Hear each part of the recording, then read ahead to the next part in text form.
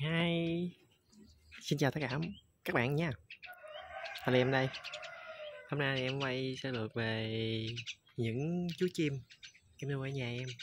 Thì hiện tại có là manh manh Cua Malai Con vẹt Với lại ờ, uh, bốn em sáu nâu. Uhm, Chuyện là bốn em sáu nâu của em đã nuôi hôm nay được tháng rồi. Và hiện tại đã biết mổ thức ăn. Và em cũng đã cho ăn dế Hôm nay cách đây đã 3 ngày thì thức ăn thì đơn giản lắm. Em cho thức ăn của gà con á viên nhỏ nha mua loại uh, tốt á loại có đạm có đạm cao để cho nó ăn. Lúc nhỏ thì em pha bột. À, em gọi pha bột có nghĩa là thức ăn gà con với lại em có nuôi vẹt á. Cho nên lấy bột uh, em pha chung luôn rồi đút nó ăn luôn. Mới đầu em nuôi khoảng 3 ngày rồi xuống ổ 3 ngày em đã nuôi. Và em đút bột uh, đút bột em pha vô cái muỗng có nước á sệt á để em đút cho cho chúng nó ăn. Ăn tầm khoảng 2 tuần rồi em đã vào viên. Vào viên nhỏ nhỏ thôi em cũng cho mấy em ăn. Hiện tại giờ em cũng còn vào viên nhưng mà em thêm là em đã lâu lâu rồi cho nó mẫu hộp với lại cho nó ăn dế rồi. Hiện tại cũng đã ngoan cũng đã ăn được rồi. Đó nãy giờ chơi dưới đây nè. Nhả lên ờ, thùng cá của em nhả lên cái lồng này. Đó bây giờ leo lên đây còn mấy bạn như em là sinh cô nơ được gọi là bạn mặt trời á. Bình thường đây là nhà của mấy em này nhà của em là em bắp nè đây là tên bắp nha. Ừ. còn giờ đâu dám lên lên ba con này đèo cắn, đâu dám lên đâu. Nó thấy người lạ, nó dữ lắm nghe. Mấy em thấy người lạ đó nghe, là em sừng cái đầu lên như con gà trống chứ bị đá vậy đó. Dí cắn người ta rồi bình thường ở nhà mình với em với, với ba mẹ vợ em thì bình thường ngoan mới mới tiêm cho một ống hai ống bột. Giờ im luôn nè cái gì không? Cốc nóc. Còn mấy này là động không đáy ăn hoài vẫn đói. Nó cọt ra vô đang nè. Nó nuốt nè. Đó. Okay. em sẽ quay. Full ngon con con tay dài. Cái lúc đó em nuôi con này con gì em cũng quên tên rồi.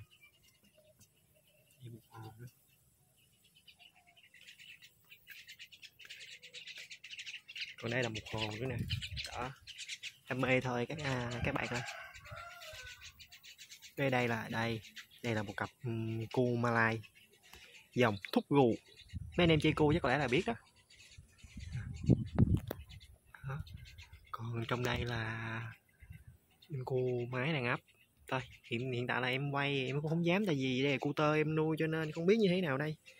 Không biết là có thành công hay không, nhưng mà cũng mong thì sẽ thành công. Còn nếu như các bạn muốn xem cô em nữa thì em sẽ ờ, bình luận cho em biết để em sẽ quay, cập nhật ừ, em sẽ quay. Và hiện tại là ổ của cô Malai của em á, thì bây giờ đang là ấp khoảng ờ, 5 ngày rồi 5 ngày rồi nha. Và hai trứng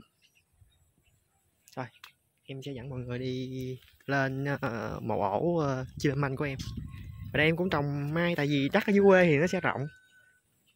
Đây là dàn mai giả phú đức. Đó còn cánh đồng này hai miếng ruộng này cũng là của em luôn của nhà em luôn. Phía sau là trường học kênh đó. đây cũng vậy nè đây là dòng cúc hội hương. Bây giờ đây các anh chị các bạn em dẫn vô. Đó. Chuồng chim manh của nhà em đây là hai cặp chim mâm anh. Em nuôi tầm khoảng 3 tháng rồi. Đó. Làm tổ. Một một tổ, hai tổ. Đây nè. Con này nè. Với con này? Là tổ dưới. Còn bé trắng với bé đen đen đen trắng đó thì lại tổ tên đây. Nói chung là ông trống này ông làm biến lắm. Ông thay như vậy đó mà. Còn ông kia ông xiên lắm. Nó ông tha.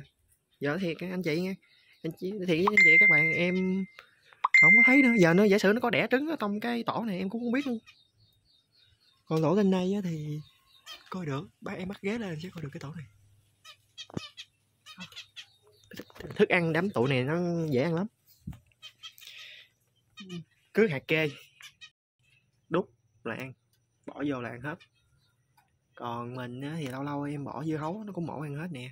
Rồi dưa leo, xà rách này kia kia nọ dễ nuôi lắm, nhưng mà nó cũng dễ bệnh nha. Em cũng kèm thuốc á. mình ra ngoài tiệm thuốc y á, tầm khoảng tuần hai tuần mình nhỏ hai giọt vô. Ra tiệm thuốc y cứ mua là thuốc ờ, mà, kiểu, bị khòi khe bị cảm cúm cho mấy dòng chim á. Cơ bản như vậy. Đó. còn đây là sáng. Chắc sáng nha em thì hướng này nắng nắng lắm, cho nên em che một mặt, em để khoảng trống một lỗ như vậy nè, để cho ánh nắng nó có lọt vô đây đây là cái thao tắm ừ, cho chúng nó. Hôm nay chút xíu nữa em sẽ thay. Ok cũng vậy đó một bé chui vô nè. Ừ. Dạ bây giờ chắc là em sẽ kết thúc video tại đây. Nếu uh, các bạn và anh chị cảm thấy video của em hữu ích hay thì cho em xin một like và một đăng ký kênh để em có động lực và có động lực và có thật nhiều ý tưởng hay để em quay. Lên chia sẻ cho các bạn và các anh chị xem. Và em mong các anh chị và các bạn sẽ đóng góp ý kiến của mình với phần bình luận để em có thể biết là mình thiếu thốn những cái thứ gì và cần à, phát huy những thứ gì nữa. Thì em xin chân hồng cảm ơn các bạn và các anh chị rất nhiều chúc các bạn và anh chị có một sức khỏe và thành công trong công việc. Em xin thành, cảm ơn. Bye.